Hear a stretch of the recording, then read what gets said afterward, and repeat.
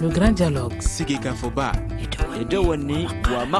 Le grand dialogue de l'émission de débat du studio Tamani sur votre radio.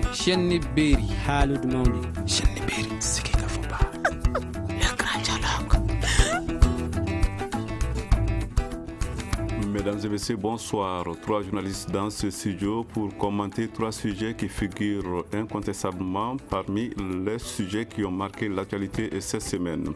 Il s'agit des nouveaux affrontements entre Peul et Bambara euh, signalés ce week-end dans la région de Mopti, de la suite de l'affaire Rasbach avec euh, la relaxe des 18 des 18 des 19 personnes jugées par le tribunal de la commune 4 du district de Bamako et du projet de loi électorale qui est censé remplacer la loi électorale de 2006. Les trois journalistes qui vont débattre de ces trois sujets sont Paul Ben, il est journaliste indépendant, Ouakar Paintao, il est l'indépendant, et Benjamin Sangala, qui est de Fraternité africaine à la présentation Seydou Foma. Le grand dialogue. Sept morts et sept blessés, c'est le bilan des affrontements qui se sont déroulés ce week-end entre Bambara et Pel à Djoura dans le cercle de Tenenkoum. En mai dernier, les affrontements, des affrontements entre les deux communautés avaient déjà fait plus d'une trentaine de morts. Pourtant, il y avait eu des rencontres qui ont même été sanctionnées par ce qu'on appelle une convention. Mais voilà, les violences, la violence est encore de retour dans la zone. Vous êtes surpris, Paul Ben?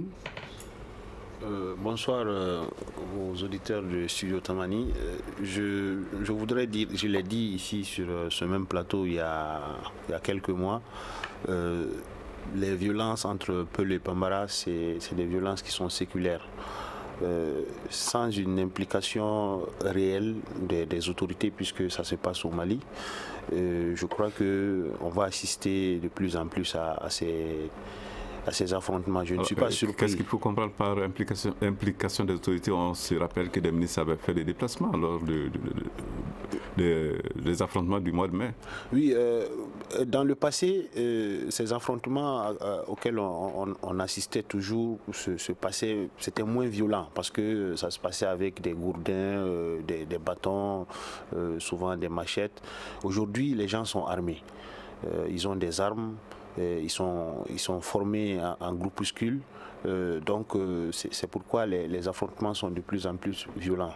Je disais donc euh, qu'il faut une implication solide du gouvernement pour d'abord désarmer ces, gens. Parce que je l'ai dit à, un cadre du ministère de la Réconciliation nationale, il ne sert à rien d'aller organiser des, des forats euh, de discuter autour de, sujets qui, sont plus anciens que certains, que, ces ministères qui existent aujourd'hui, et de tourner le dos en croyant que euh, on, a, on a fait quelque chose. Il faut suivre, il faut un suivi, un suivi rigoureux. Il faut désarmer donc ces populations, les faire asseoir, les faire comprendre qu'ils sont dans un pays de droit, dans un état de, droit, et que celui qui reprend peut être euh, confronté à la loi.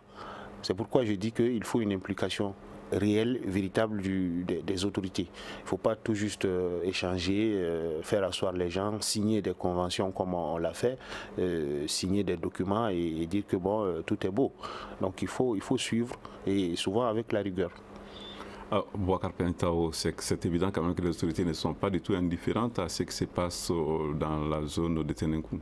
Bon, je, j'ai joint ma voix à celle de, de Paul Ben pour remercier tous les, auditeurs de Sijo Tamani, mais au-delà au de, de l'aspect, c'est-à-dire que euh, de signer, c'est-à-dire que l'implication de, des autorités, mais ce que moi je moi j'aimerais ajouter, c'est que tout simplement tous ces conflits prouvent qu'en réalité les gens ne, font pas justice, c'est-à-dire ne font pas confiance à la justice.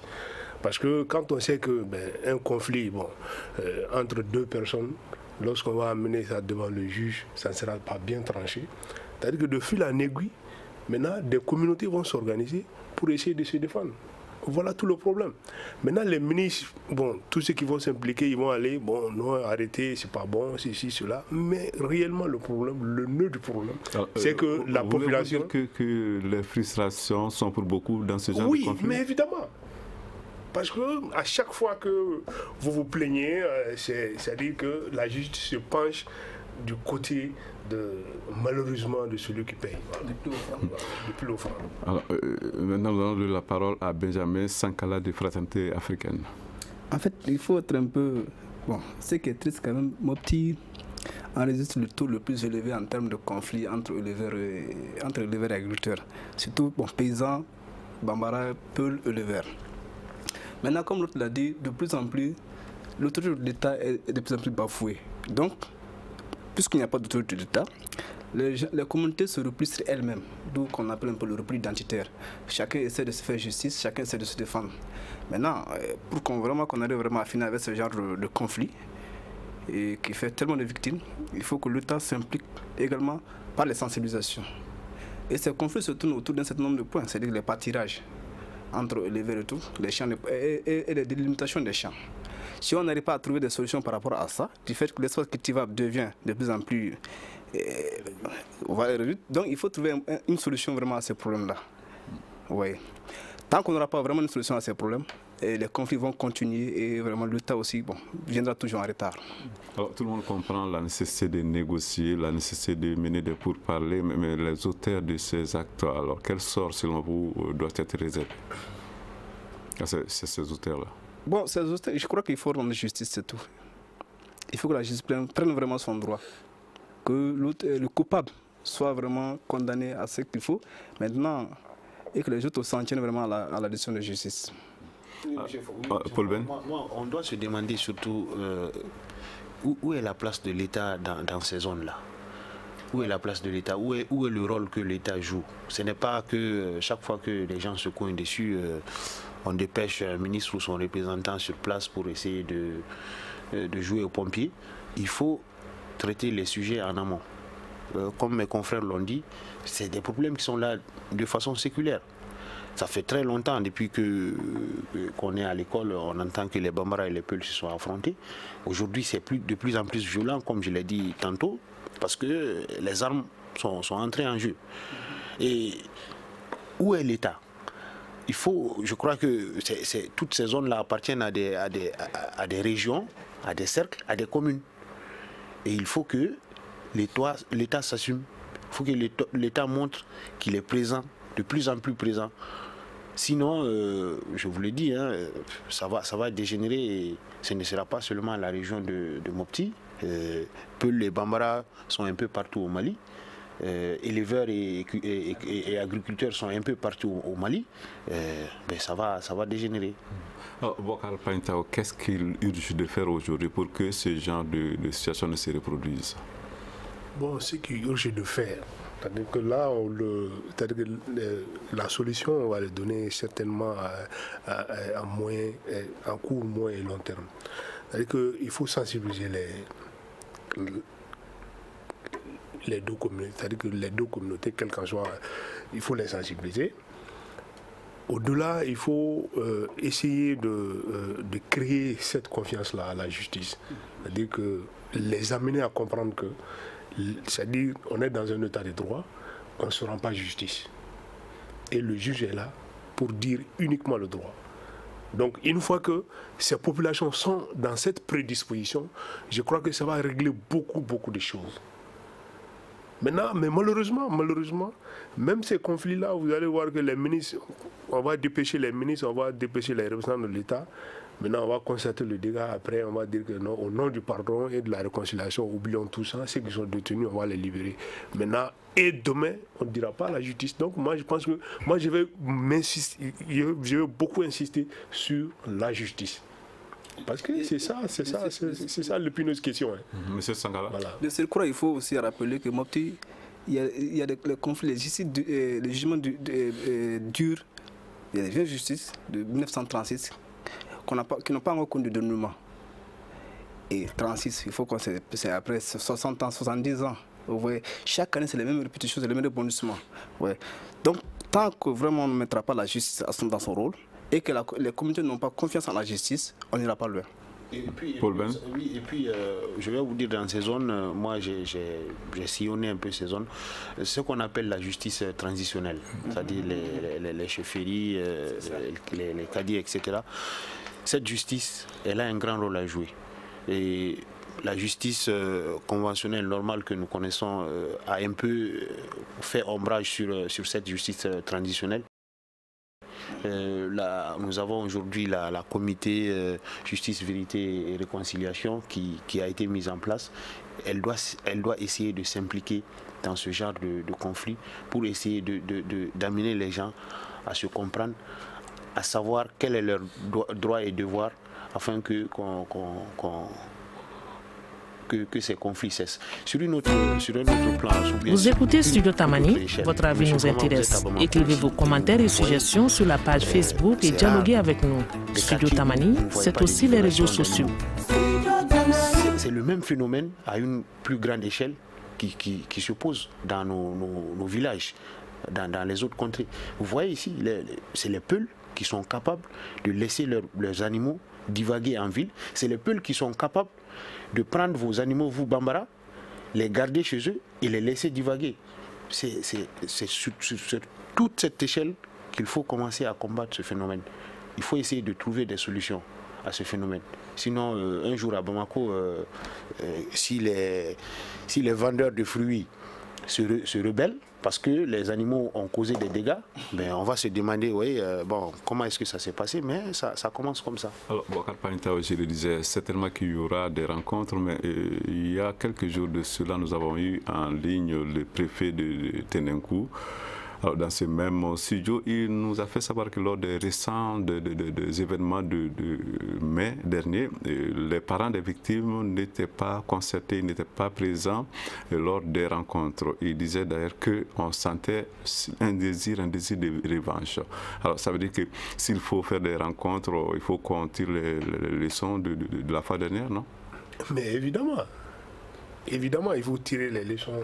C'est-à-dire que euh, fois passé. Mais le, problème, le nœud du problème, je vais encore le, répéter, parce que tout simplement, c'est les communautés, bon, un peu, je le dirais entre guillemets, ils sont laissés à elles-mêmes.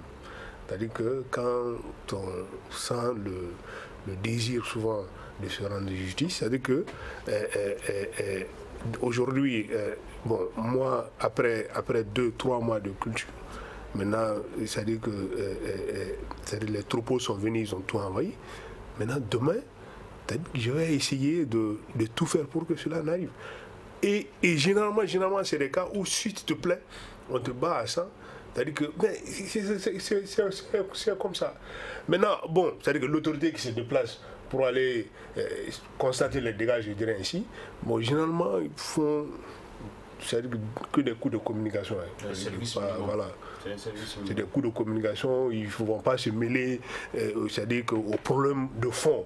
Ils vont juste régler ça de façon superficielle. Ils savent que après eux, c'est une bombe qu'ils ont préparée et ça va encore exploser. Parce que tout simplement, de retour au village, c'est-à-dire que, euh, euh, par exemple, si les Peuls ont constaté, c'est-à-dire que 10 décès, un exemple, maintenant les Bambara vont se vanter. Voilà, vous avez vu la première fois ce qu'on vous a fait. Maintenant, ça va, de, de fil en aiguille, on va, que la situation va se compliquer. Maintenant, les Peuls aussi vont se préparer en conséquence. Comme on l'a dit, une chose au Poulben, c'est-à-dire avant c'était avec des gourdins, mais maintenant c'est des armes à feu. Voilà. Maintenant, plus, c'est-à-dire que le conflit persiste, plus c'est-à-dire que euh, le clan qui se, euh, euh, qui se croit c'est-à-dire que vaincu vont se, c'est-à-dire que va se, va se, voilà, va, va, se préparer. Maintenant, il suffit d'un coup d'étincelle que ça explose encore parce qu'ils veulent prendre leur revanche. Donc il y a tout ça. Maintenant, il faut la justice. Tant qu'il n'y a pas de justice, on va beau on ne fera que constater les dégâts et malheureusement des morts d'hommes. Studio Tamani, la suite de ce débat dans un instant. Vous écoutez Studio Tamani, votre avis nous intéresse. Écrivez vos commentaires et suggestions sur la page Facebook et dialoguez avec nous. Studio Tamani, c'est aussi les réseaux sociaux. Après les affrontements du week-end dernier à Djoura dans la commune, dans le cercle de Tenenkoun, nous allons aborder à présent le second sujet de cette émission. Alors ce sujet, c'est l'affaire Rasbach. Nous y revenons donc avec ce, jugement rendu il y a quelques jours par le tribunal de la commune 4 du district de Bamako. Les accusés étaient au nombre de 19, 18 ont été relaxés. Un seul a donc été condamné à 6 mois de prison avec euh, sursis. Votre commentaire, Paul Ben service minimum. Service minimum, je l'ai dit lors d'un débat auquel j'ai participé ici par rapport à cette affaire. Je dis que le, procureur qui, a, été un peu l'allumeur de cette mèche ou de cette bombe, ici, ici, est mal pris parce que de long à large sur toute la ligne, je crois qu'il a manqué de professionnalisme. Et les gens qui l'ont soutenu dans, dans cette euh, basse besogne, parce qu'il y en a, il a des chefs, il a des collaborateurs, euh, ont tous fauté. Je crois que euh, ce que j'ai regretté, et je le regrette toujours jusqu'à présent, c'est la mort. Et en plus de ça, les dégâts vraiment matériels qui, qui s'en ont suivi. Et c'est triste. Parce que moi, j'ai vu les images et moi, je me demande pourquoi, pourquoi est-ce que cela, cela est arrivé. Si on avait réfléchi de façon technique, très profondément, à ce sujet, je ne dis pas que le procureur n'a pas le droit de le faire, mais s'il avait bien réfléchi, euh, soit il allait euh, sursoir à, à s'auto-saisir, ou il allait le faire autrement. Moi, je, crois que on, va, on va dans les prochains jours euh, assister à des relax de ce genre, à, des communiqués de ce genre. Et c'est la famille du disparu et, c'est le contribuable citoyen, euh, contribuable malien qui va, qui va souffrir de sa poche parce qu'il il faudra payer, euh, je crois, des documents très très chers pour la justice. Et, justement, et les infrastructures, le matériel roulant qui a été brûlé, il faudra, il faudra payer.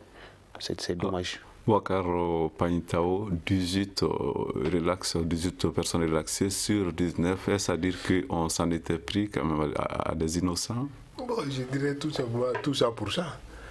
Ah Parce que c'est en fait, c'est malheureux. C'est que euh, euh, ça veut dire que dans le dossier, le dossier est vide le dossier est vide, euh, parce que le procureur a ce que, chose pour rejoindre un peu mon, confrère Paul Ben, le procureur a essayé de jouer sur une corde. C'est-à-dire qu'aujourd'hui, quoi qu'on reproche à, à l'infraction a été commise par voie de presse.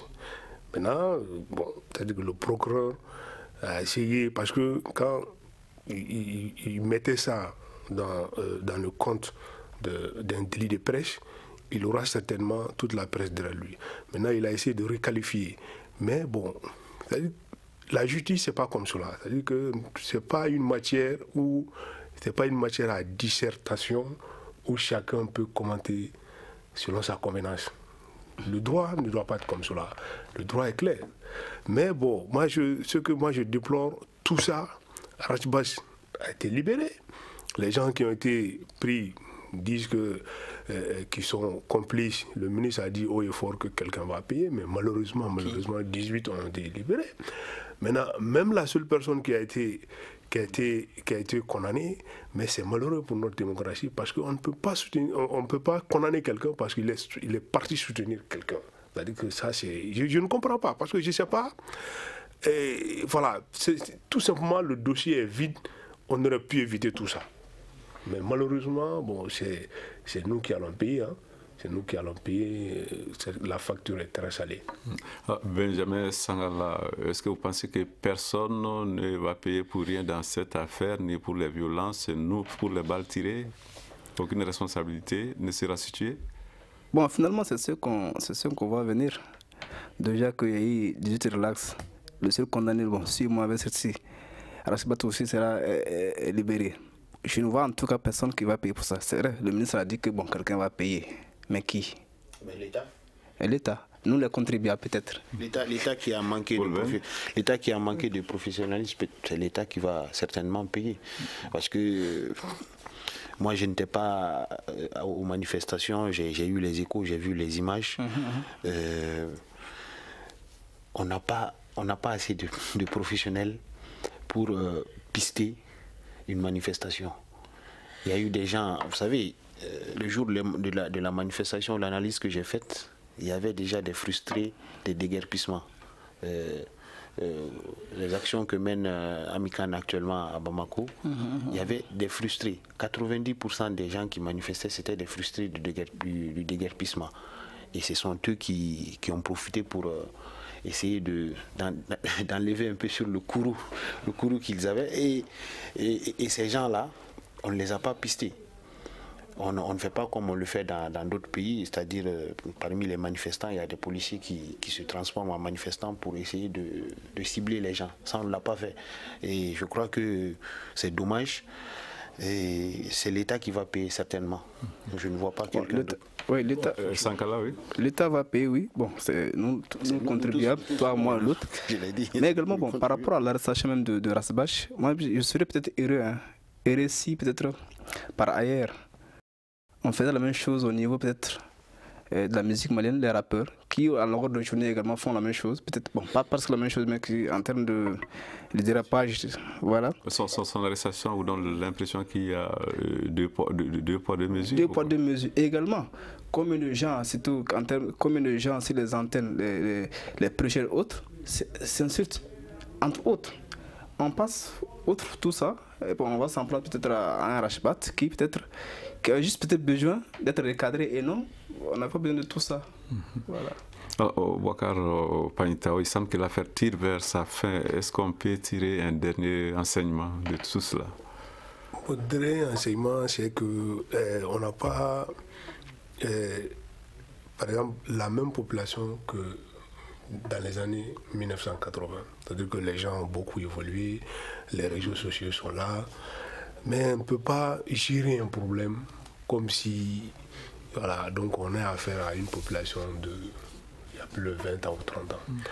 Maintenant, ce que moi je ce, que, ce qui est déplorable, c'est qu'à travers la manifestation de, de Gao qui a, qui a des, des morts d'hommes, et cette manifestation où l'armée, bon, les forces de l'ordre ont tiré sur la foule. Maintenant, ce qui est malheureux, ce qui est malheureux, le cas de Gao, c'est qu'on a accusé les manifestants mais euh, le, euh, le, jour de la manifestation pro-Rajbaj, après les coups de feu, je crois que le, le déjà de la police a animé une conférence de presse pour dire qu'aucun policier n'avait une arme. Mais c'est déplorable. Il faut que nos responsables, c'est-à-dire, euh, s'assument.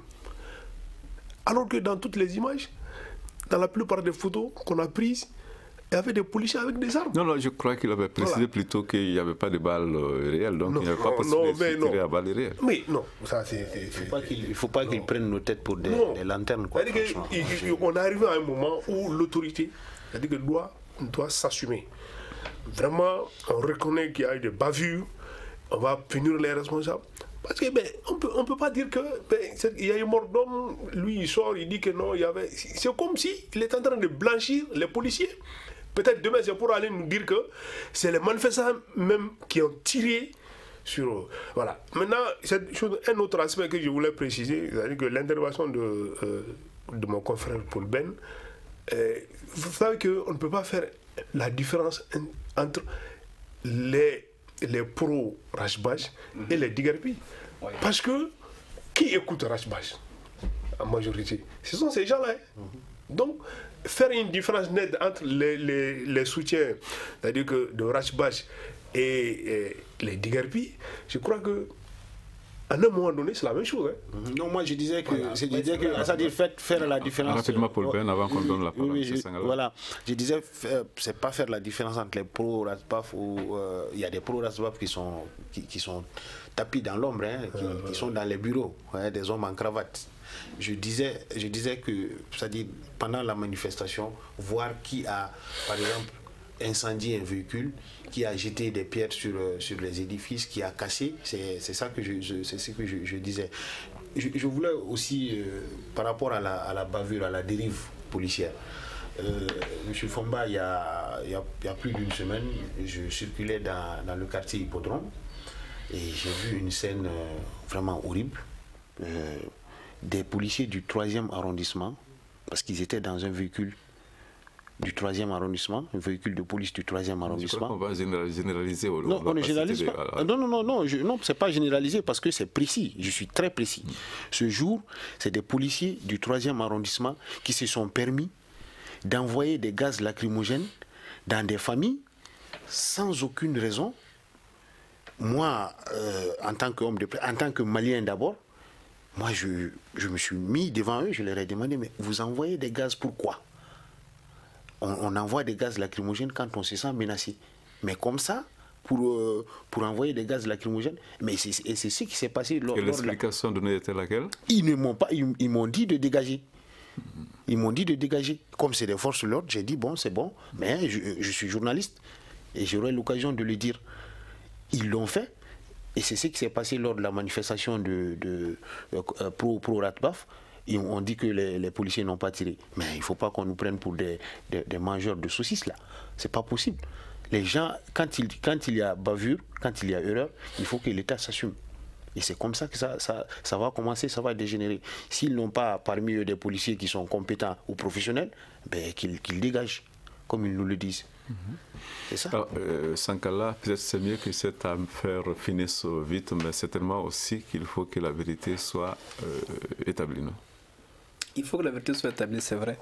Mais comme dirait Paul, dans, dans une marche, manifestation, dans, dans, une marche, bon, chacun parle avec son intention. Maintenant, on ne sait pas pour le moment qui a tiré, c'est la policier. Les manifestants, et peut-être pour des règlements de compte, ou les frustrés comme nous, des, des, quelque part. Mais quoi qu'il en soit, et, pour ne pas faire la différence nette entre les pro-Rashbat et même les déguerpis, c'est la même masse. Mais Rashbat a à, trouver une certaine aura auprès vraiment de, de, cette population. C'est-à-dire que c'est victime, bon, c'est frustré, ainsi de suite. Ouais. Une dernière, ah, une, dernière précision, oui, une dernière précision, euh, M. Famba. Euh, nous sommes tous des intellectuels ici autour de cette table. Et on sait que euh, quand, il y a, quand on accuse la police d'avoir tiré, il est très facile de le prouver.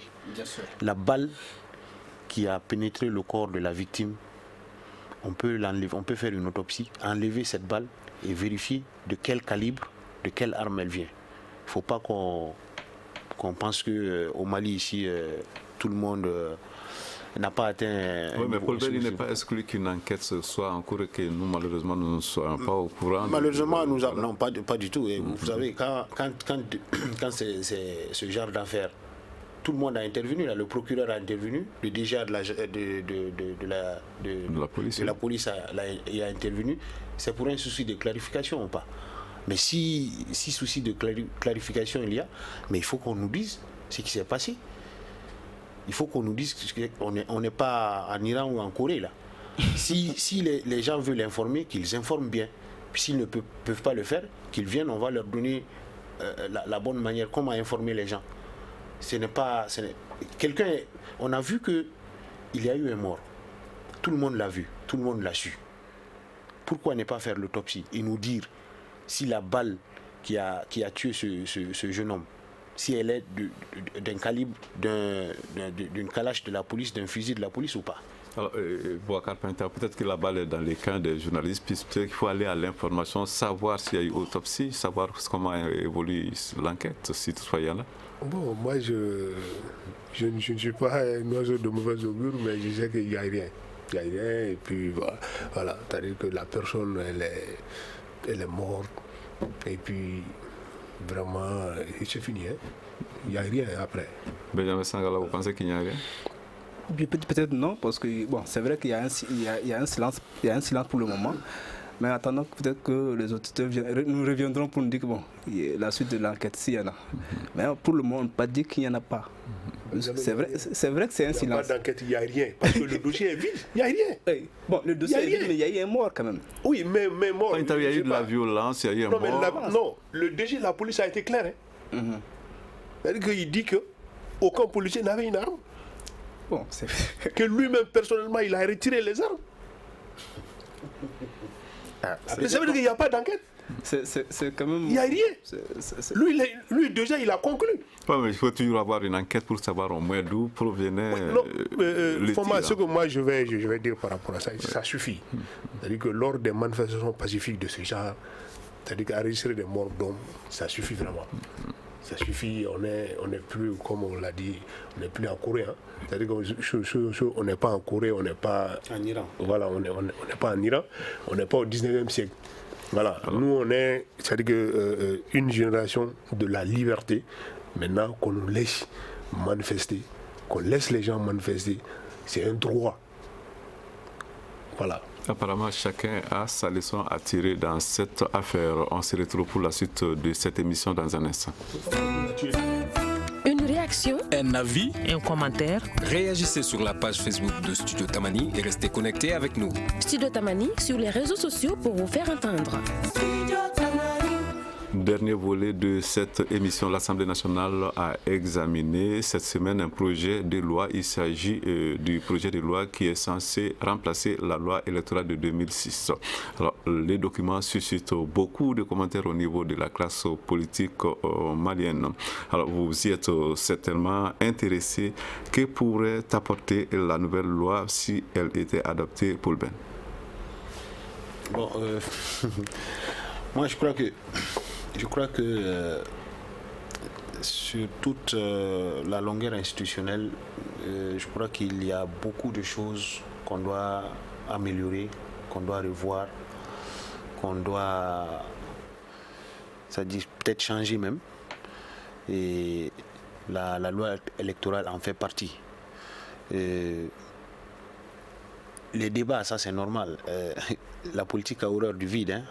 La politique a horreur du vide. Donc, euh, à chaque fois, vous savez, quand il y a changement, il faut toujours qu'il y ait des pros, des, des. Mais je crois que, pour revenir à, votre question, euh, la loi électorale euh, va changer beaucoup de choses sur le sur, sur l'échiquier politique national.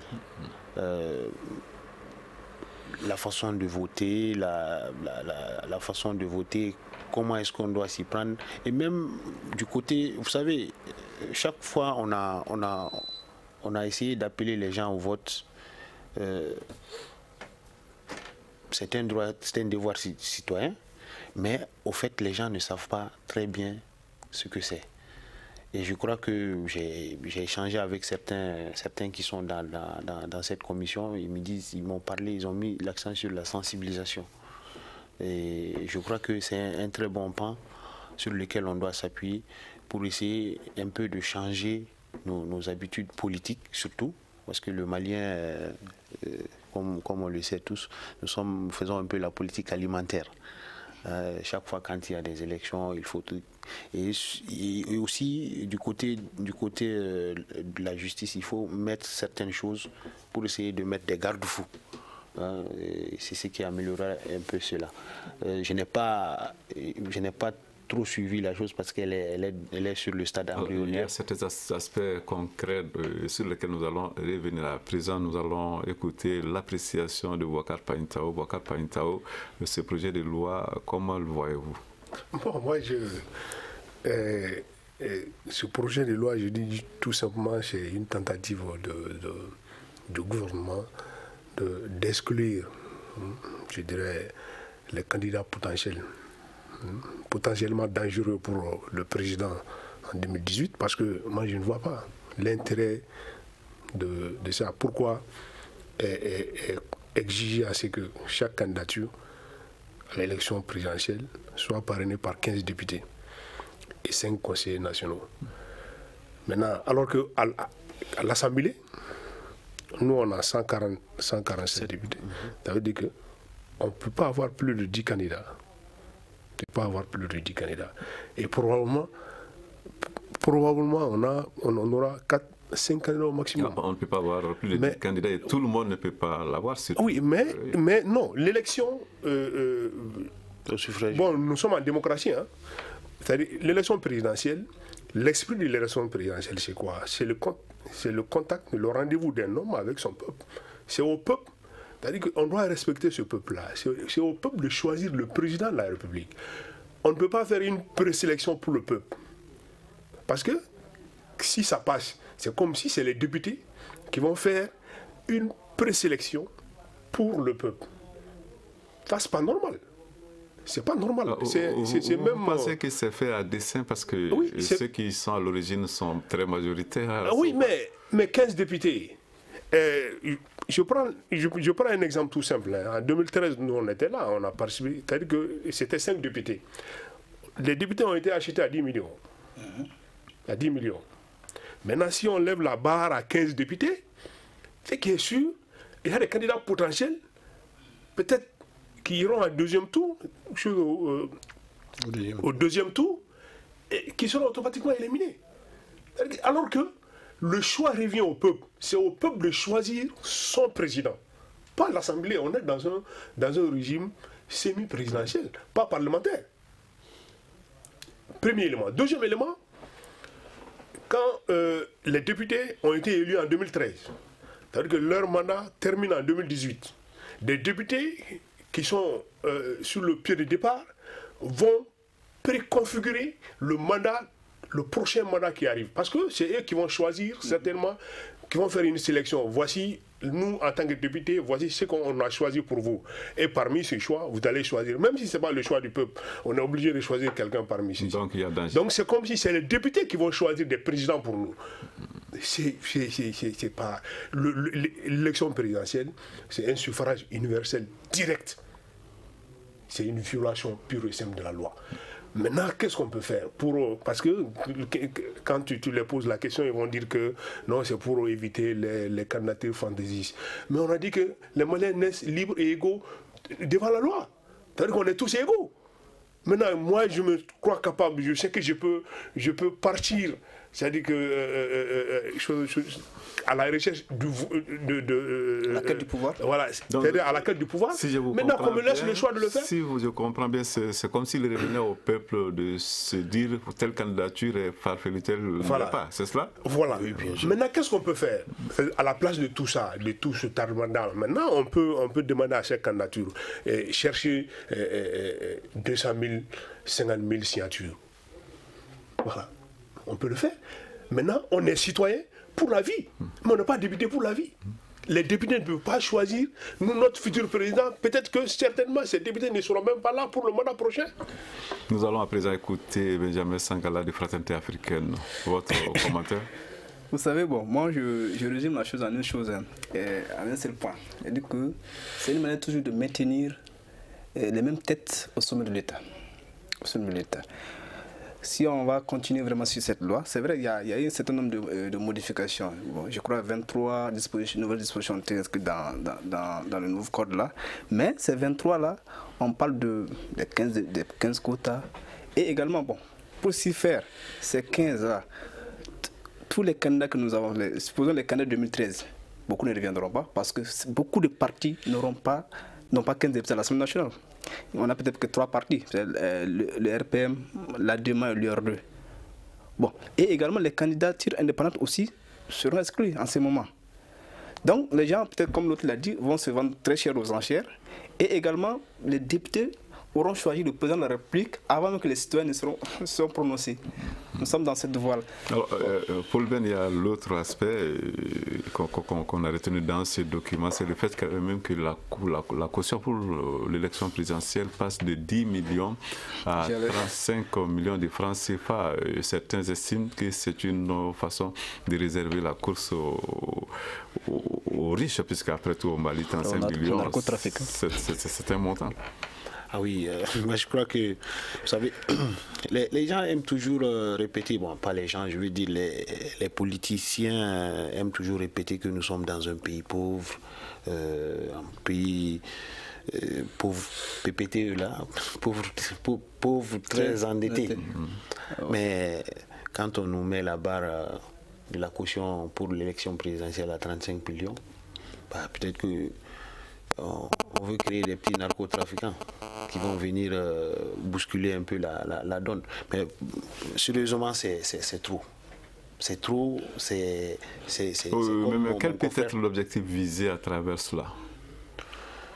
Ben, Franchement, il faut qu'on pose la question à, ceux qui veulent initier ce, cette chose-là. Mhm. Moi, je crois que c'est pas parce qu'on a payé cher qu'on est bon président bien qu'on sera un bon président.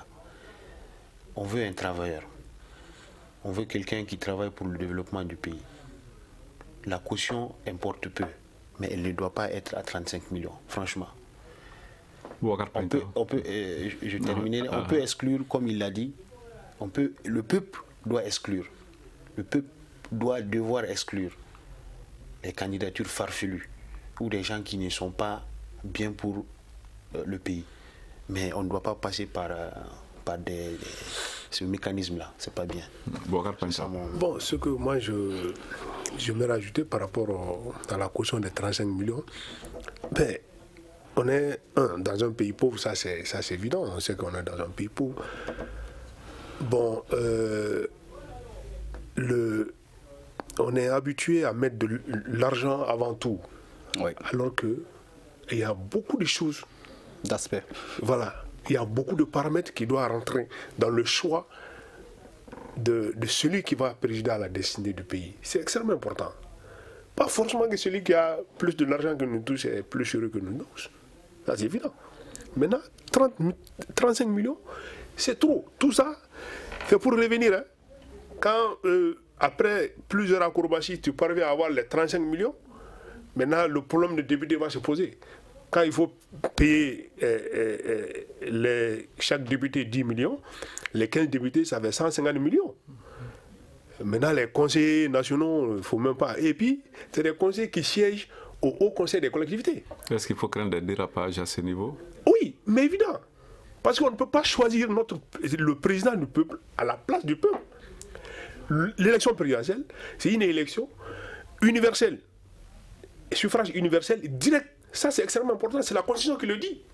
Maintenant, pourquoi vouloir faire une certaine présélection pour le peuple? Ça, c'est dévié, c'est-à-dire que de, régime euh, semi-parlementaire, euh, semi-présidentiel, on va à un régime parlementaire. Non, maintenant, c'est les députés qui vont choisir les présidents. Bon, voilà ce que nous avons trouvé pour vous. Choisissez parmi ceux-ci. On est obligé de choisir. Même ne pas choisir en ce moment, c'est un choix.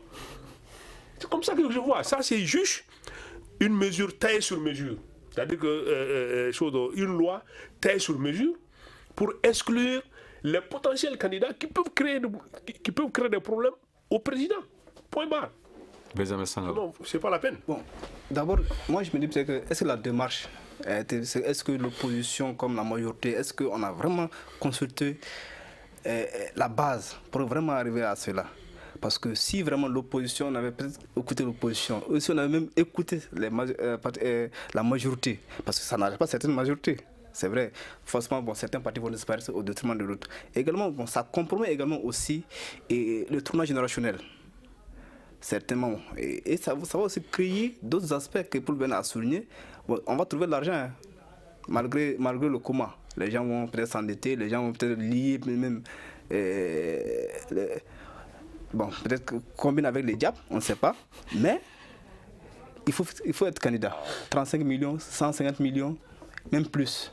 Ouais. Mais l'argent ne sera pas le problème. également, le second point qu'il faut souligner, on ne vote pas seulement pour l'argent.